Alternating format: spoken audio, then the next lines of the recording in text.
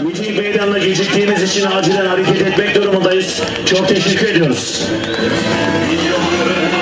Çok teşekkür ediyoruz. Sağ olun.